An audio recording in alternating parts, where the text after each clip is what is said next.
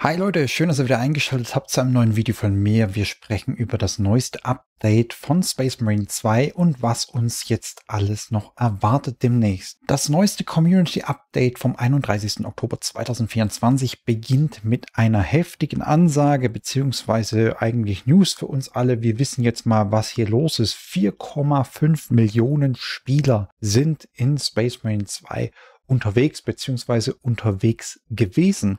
Und das ist natürlich eine Mega-Zahl. Sie bedanken sich ganz herzlich bei uns allen, die wir uns dieses Spiel gegönnt haben und natürlich hoffentlich einige Stunden Spaß drin hatten. Sie betonen dann im Anschluss nochmal, dass sie tatsächlich das Feedback lesen und eine Bestätigung dafür haben wir, denke ich, schon bekommen, indem sie eben diese Anpassung gemacht haben mit dem neuen Patch.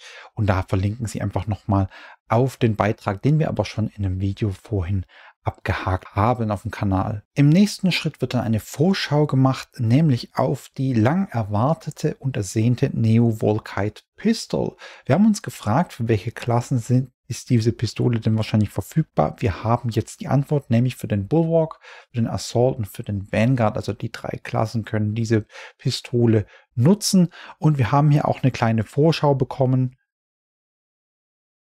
so sieht das aus. Also mit einem Laserstrahl eine thermische Waffe, wie ihr seht. Und drei Klassen haben drauf Zugriff. Äh, bin mal gespannt, wie die sich spielt. Aber immerhin haben wir jetzt endlich mal ein Waffenupdate, was ein bisschen mehr Abwechslung ins Game bringt, finde ich. Als Randnotiz wird noch erwähnt, dass es zusätzlich zu dieser Ergänzung mit der neuen Waffe auch Verbesserungen für mehrere Schusswaffen geben wird, die wir bereits im Spiel haben. Also tendenziell auch gute News. Dann haben wir hier eine sehr schöne Meldung, nämlich später in diesem Jahr, also etwa Anfang Dezember wird es sein, dass mit großer Spannung erwartete Dark Angel Chapter Pack also das Cosmetic Update wird dann kommen. Zusammen wird dann auch noch ein neuer Find released, nämlich der Zangor Enlightened.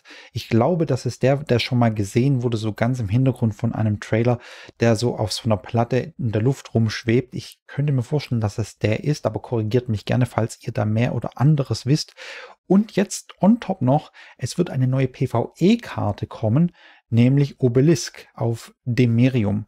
Also das finde ich jetzt schon mal ganz cool. Äh, sie geben anscheinend tatsächlich Gas, so gut sie können, dass sie mehr PvE-Operations bringen werden und jetzt schon im Dezember immerhin noch eine Karte. Ich hätte nicht gedacht, dass sie dieses Jahr dann nochmal was bringen. Immerhin eine Karte mehr. Sie sind zudem auch dabei, die Waffen mit Block-Eigenschaft zu überarbeiten, weil sie mehrheitlich einfach das Feedback bekommen haben, dass sich die Waffen nicht besonders toll spielen mit der Eigenschaft Blocken. Und da kann ich ehrlich gesagt genauso meinen Senf dazugeben. Ich fand das auch nie besonders begeisternd, mit einer Blockwaffe zu zocken. Ich weiß nicht, hat sich irgendwie nicht gut angefühlt. Und dann hier noch ein kurzes Video zu was auch immer. Ich kann es nicht identifizieren, worum es genau geht, aber sei es drum, das ist das Update, das wir bekommen haben. Und sie gehen jetzt hier am Schluss noch auf ein paar Punkte einfach ein mit Feedback. Wir würden gerne eine neue Nahkampfwaffe hinzufügen. Allerdings braucht die Integration auch viel Zeit und Produktionsressourcen. Wir werden auf jeden Fall uns informieren, sobald wir in dieser Hinsicht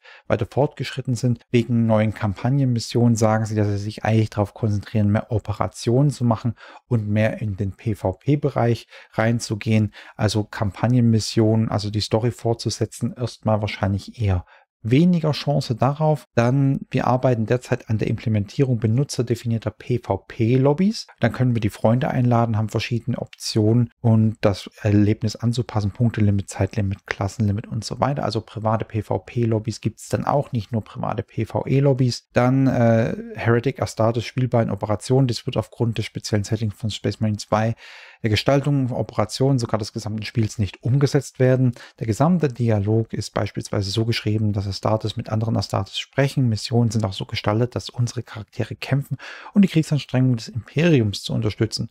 Also hier auch keine Aussicht darauf.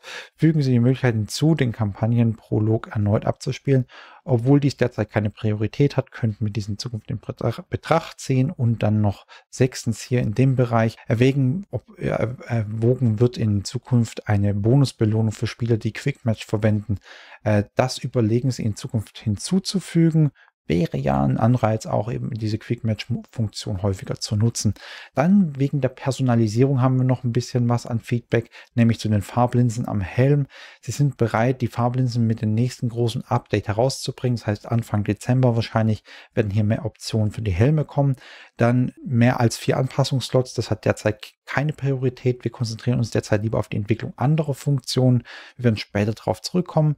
Dann Anpassungs-Add-ons. In Zukunft wird es noch mehr Anpassungsmöglichkeiten geben. Präzisere Anpassungsoptionen sind ebenfalls ein Muss. Dann mehr Helmanpassungen, Muster. Daran arbeiten sie aktiv dran. Es wird im Laufe der Lebensdauer des Spiels verfügbar sein. Also das kommt noch mit Helmanpassungen, Mustern. Möglichkeit zum Umfärben von Stoffstücken und Wappenrücken. Wir können darüber nachdenken, diese Option später hinzuzufügen, aber ein zufriedenstellendes Qualitätsniveau für diese Funktion zu schaffen, ist schwieriger als es aussieht. Also auch etwas, was vielleicht eher noch ein bisschen in weiter Ferne liegt. Dann Farbanpassung des Lieutenants. Dies hat grünes Licht bekommen. Weitere Anpassungsmöglichkeiten für Helme sind in Planung entsprechend anderer Chapters und andere Hautfarbe vom Marine, warum die Haut, egal. Wir arbeiten derzeit an einer Option zur Anpassung des Kopfes vom Space Marine. Das haben sie ja schon mal gesagt, geteasert, dass es wohl Anpassungen fürs Gesicht geben wird, dass man verschiedene Gesichtstypen vielleicht auswählen können wird. Ähm, das finde ich persönlich ziemlich cool, dass das noch gehen wird. Und erlauben Sie die Platzierung von Deathwatch-Symbolen auf der rechten Schulter. Ja, daran wird bereits gearbeitet. Ja, und hier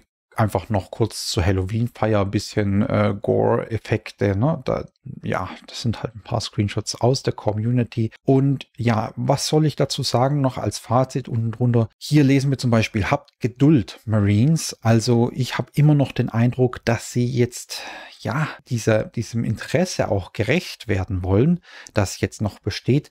Man sieht natürlich, äh, und das ist, denke ich mal, kein äh, Wundernis für uns alle, dass natürlich äh, zum Release-Beginn hier mega hohe Spielerzahlen waren. 225.000 ist schon eine ordentliche Hausnummer, auch richtig krass für ein Warhammer 40k Game. Und dann geht's natürlich runter. Ne? Irgendwann ist der Drops halt dann auch gelutscht und man sieht dann, dass es immer mal wieder dann ein paar Erholungen gibt. Wenn man jetzt zum Beispiel auf den letzten Monat zurückgeht, dann kommt hier noch mal ein bisschen hoch. Und äh, jetzt aber der Trend ist eher langsam abnehmend, weil halt eben nicht genug neues Zeug da ist, dass sich die Spielerzahlen wieder auf ein Niveau von zum Beispiel hier erholen. Das wird erstmal nicht passieren und ich bin mal gespannt, ob sie das jemals wieder schaffen. Ich denke, dafür müsste es ein Content Update geben, was in einem Schwung jede Menge neuen Content bringt, damit wirklich viele Spieler gleichzeitig längerfristig zurückkehren und diese Abwechslung so